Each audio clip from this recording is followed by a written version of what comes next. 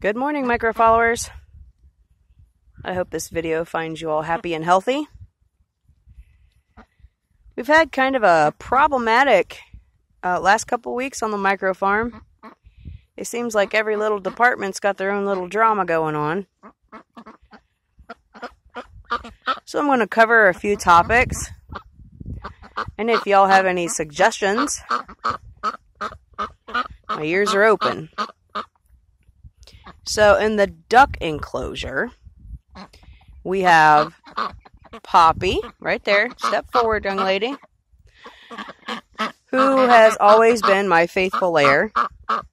And for whatever reason has only laid one egg since she's been moved to this temporary enclosure. She's getting calcium supplements and she's getting layer feed. So I'm not really sure what's going on, but she is no longer laying. I've uh, provided two laying boxes now, just in case. One on the outside and one on the inside. In hopes that maybe that will provoke some laying.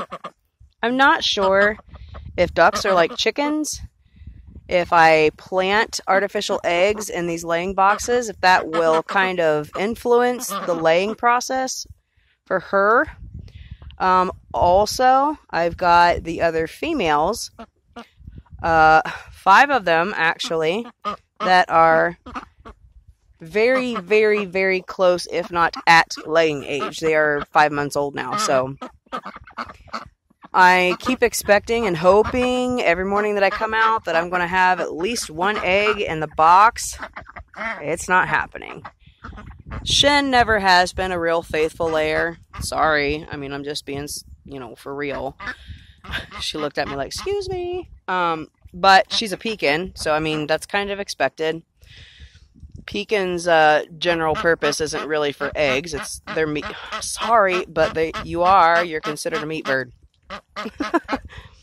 uh, so I might have had a dozen eggs out of Shin since I've owned her. Yes, Dusty, I hear you, lady. So on that topic, I've got this young man here who is not remotely interested in breeding. The girls get in the water, they start the head bobbing, they're just flirting like crazy. Well, Dusty mostly. Dusty, Poppy, and Shen. Oh, yeah, and Gwen.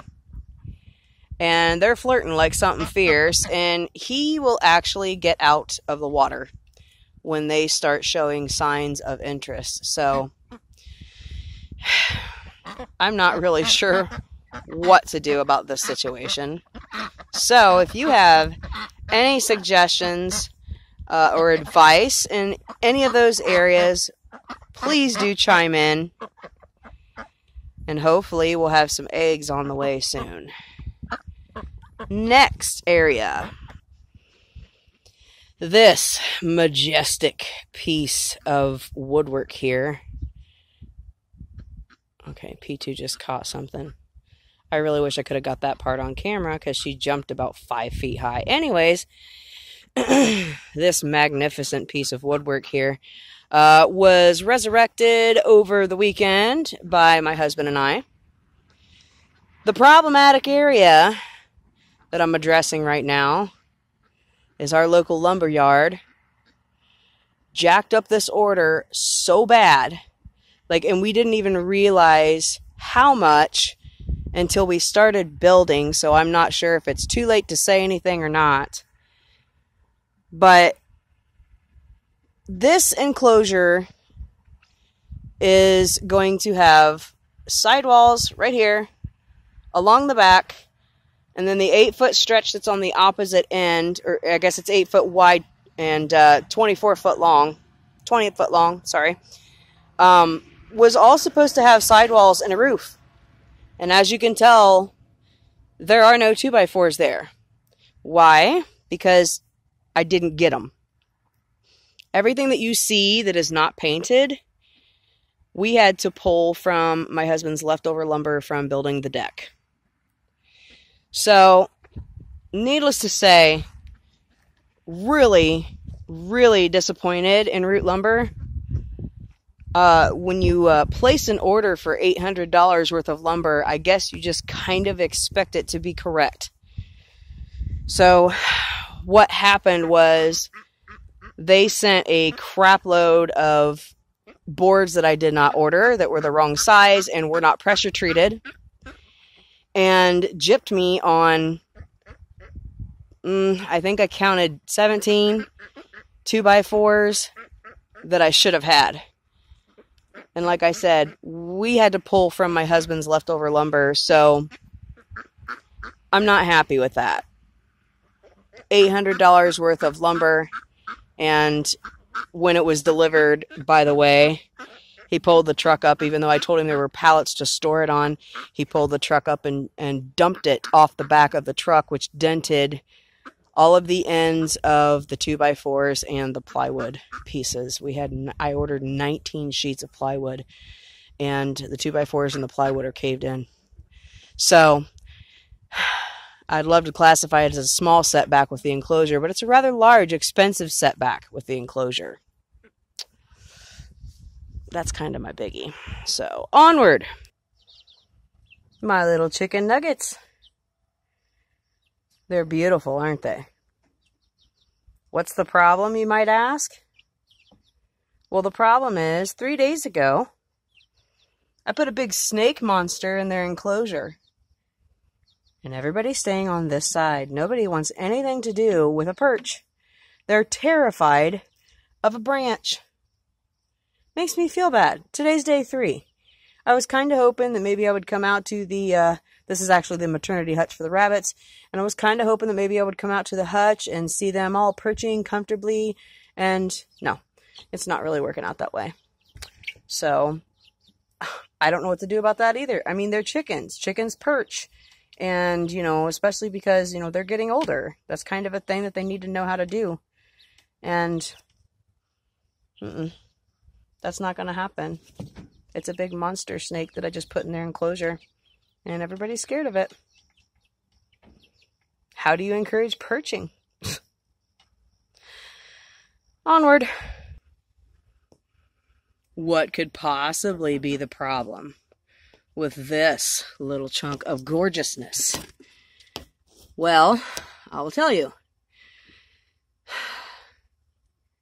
There's only six. There was eight. And I lost two to the heat yesterday.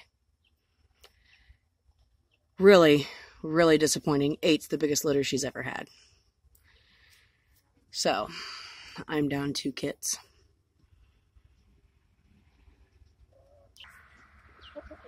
So enough of the problems already. Let's uh, share a little bit of good news. My two Australorps that you see right there, so gorgeously shining in the sun, they're officially laying. There are days where I collect a half dozen eggs a day, which is the most that I've collected since I lived at the schoolhouse. So I'm super stoked about that. My average is four a day. Sometimes there's five, sometimes there's six. That makes me a happy micro farmer. What's up, beautiful? What's up, beautiful? You want to see? Say hi. Say hello. Say hi. Hello. I know you're beautiful.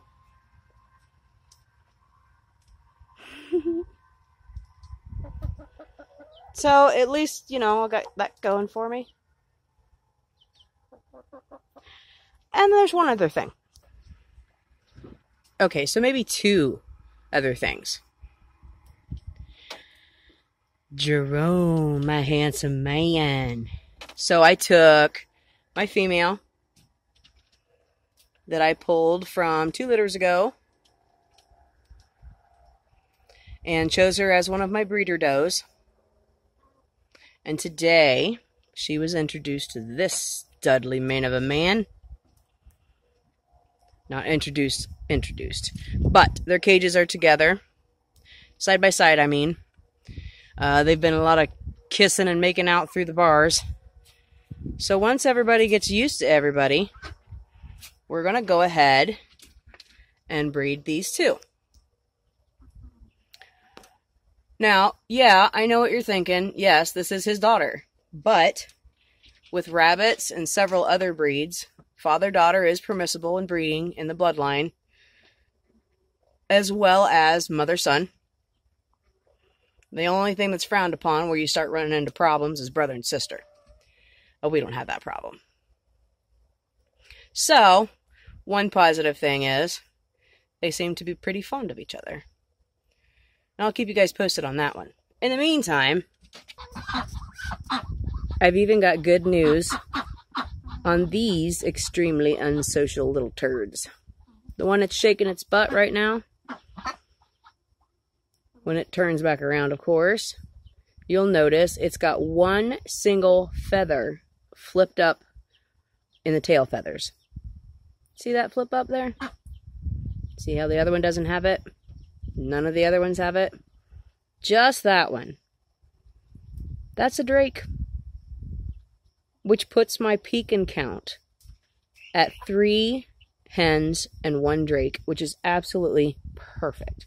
When the other enclosure gets finished and all of the ducks get combined, well, not all of them. I've decided I'm going to put the pekins together and separate the welshies. But when the pekins get combined, that's going to be one drake with five hens because I'm actually going to put Gwen in there too. Even though Gwen is a mix between a Welsh and a Pekin, uh, you can look at her and tell she's obviously more Pekin than she is Welsh. So yeah, we've got a little mister right there. That's going to make things pretty easy for me as far as uh, telling the difference between my Drake and my hens. But once I add Shen to three more hens, I'm not really sure how I'm going to tell the difference between everybody. And then there's you again. You're so nosy. So, anyways, that is the current status for Mission to Microfarm as of today. Got some problem solving to do. I got some enclosure problems to solve. And I suppose I have some extra special awareness to give to the rabbits. I'm not really sure what else I can do as far as this heat is concerned. They get their cold bottles. Their water stays fresh throughout the day. I come out four times in a day to re up on cold water and bottles. And they're in shade. And actually the cool thing is the shade that they're provided is is got a really nice breeze that goes along with it so i don't know hopefully uh, there are no more casualties so that concludes our update for the micro farm today i hope everybody stays safe and healthy and i suppose if it's up to your stay at home and I will keep you guys posted on any changes. If you haven't already, please like and subscribe. Keeps me motivated to keep posting. I love you guys. See you next time.